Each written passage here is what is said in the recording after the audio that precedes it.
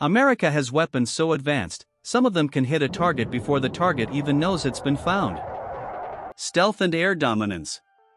The US owns the sky using technology decades ahead of competitors. The F 35?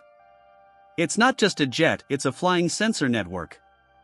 It can track enemy aircraft without being seen, shoot without being detected, and share targeting data with ground forces in real time. Hypersonic and next gen weapons. But air superiority isn't enough.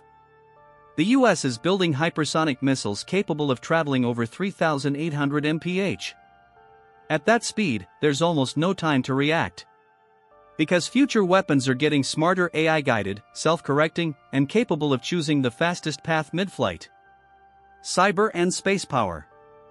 Modern warfare isn't fought only on land or sea, it's fought in cyberspace and outer space. The US has satellites that can detect missile launches anywhere on Earth, track enemy movement, and even support drone fleets thousands of miles away. And the cyber side?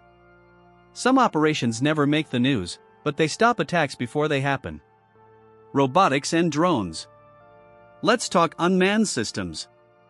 The US military is moving toward drone swarms, hundreds of small autonomous drones that can overwhelm enemy defenses. Then you have loyal wingman drones, robotic aircraft flying alongside real pilots, acting as shields, scouts, and even decoys. Navy power and underwater tech.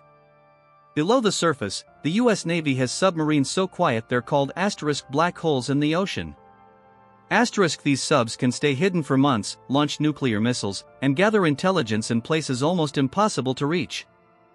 AI command systems. All this tech feeds into AI driven command systems that analyze millions of signals, detect threats before humans can process them, and recommend the fastest response. This isn't the future. It's already in use. If you want more powerful breakdowns like this, hit subscribe, tap the bell, and join the community because what's coming next will blow your mind.